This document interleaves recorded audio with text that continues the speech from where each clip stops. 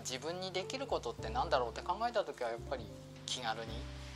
地元のものが美味しく食べれるお店っていうので宮城とフレンチっていうのはまあ基本コンセプトでやってるんです震災後にいや余ってる。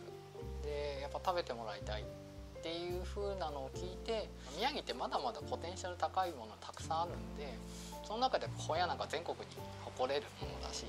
世界に誇れるものだしそれをあえてフランス料理は使わないことをやることが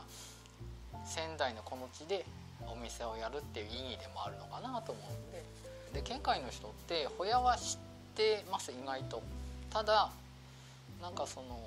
ホヤに対するネガティブなイメージの方が強い方が多いのでしっかりお話ししながらっていうとこは大事にしてます。けどね地元の作ってる人が分かるんでやっぱこういう風な感じで今が今旬がとか、まあ、例えばホヤだったらそういう震災でなかなか流通がとかっていろんなお話ができるんでそうやって興味持ってもらうとでは皆さん食べてみようかなっていう気持ちになっていただいてますね。うちじゃないと食べれないホヤ料理っていうことでいろいろこう毎年毎年、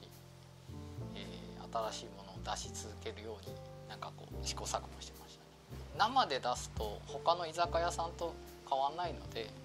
なるべく少しその加熱っていうところをあのフランス料理の技法を最大限に生かして調理するように心がけてますかね。少しでもあったら待っていただきたいので温かい料理っていうことであの最初一番最初こう考え出した料理ですね。あさりのクラムチャウダーのイメージをほやできないかなっていうのが一番最初のスタートですけど。なのでまあ皆さんこう食べやすいとかあこういう風なホヤの味、まあ、食材と組み合わせると驚きだったり美味しさっていうのを感じてこれだったらホヤ食べてもいいかなってみんなこう喜んでますね。やっぱり家では食べれないものっていう風な認識で皆さん何かここじゃないと食べれないよねっていう期待感で来てますかね。5つの味が1つの食材になるのってそうそうないのでお刺身好きな人ってやっぱりホヤのそのストレートな味わいを求めてるんですけどやはりそれをどうやって